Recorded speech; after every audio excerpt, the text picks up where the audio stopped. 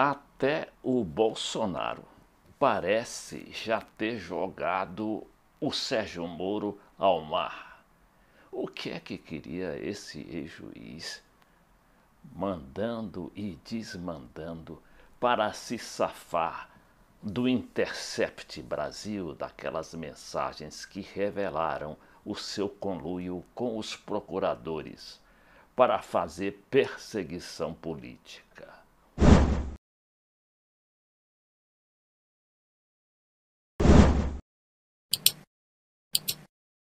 Quando provavelmente que ainda estivesse com aquela couraça, aquela blindagem midiática que o fazia um personagem acima do Supremo Tribunal Federal, do Congresso Nacional e do próprio Palácio do Planalto. O Sérgio Moro meteu os pés pelas mãos e queria destruir as provas encontradas com aqueles hackers lá de Araraquara para, claro, não se deixar comprometer por aquelas mensagens. Ele queria destruir tudo. Ele, como ministro da Justiça, ele, como autoridade, não mais como juiz, uma vez que a destruição de provas só é admitida, só é atribuída ao juiz e depois de examinados todas as implicações que aquelas revelações oferecerem. Agora, o ministro também mandou fazer uma portaria que é praticamente a instauração do Estado policial brasileiro.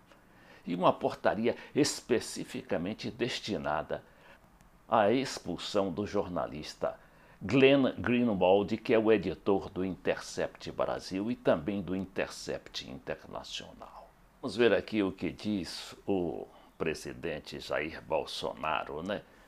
Claro que já não mais é, tentando esconder a sua irritação com as loucuras de seu ministro, aliás, ex-super-ministro e agora ministro lá pelas tabelas. Então diz aqui o Bolsonaro. Bolsonaro enquadra Moro e diz que ele não pode destruir mensagens. Matéria do jornal Site do Brasil 247. Jair Bolsonaro enquadrou o ministro da Justiça Sérgio Moro neste sábado, dia 27, no Rio de Janeiro, ao dizer que não cabe ao ex-juiz a decisão sobre destruir ou não as mensagens capturadas pelos supostos hackers presos nesta semana. Abre aspas.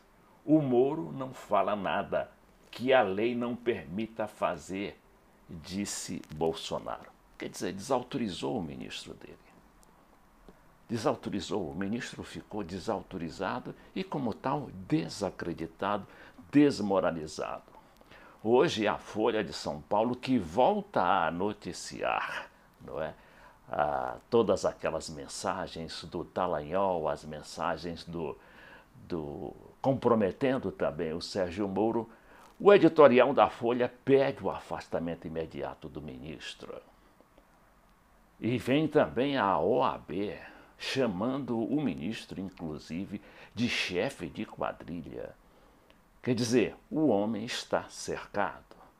Ele vai ficar mais alguns dias ali, é, numa situação que vai acabar, claro, renunciando, pois do contrário vai comprometer todo o governo e toda a mídia, porque inclusive a Rede Globo já passou a noticiar também com algum destaque aquelas mensagens do site Intercept Brasil.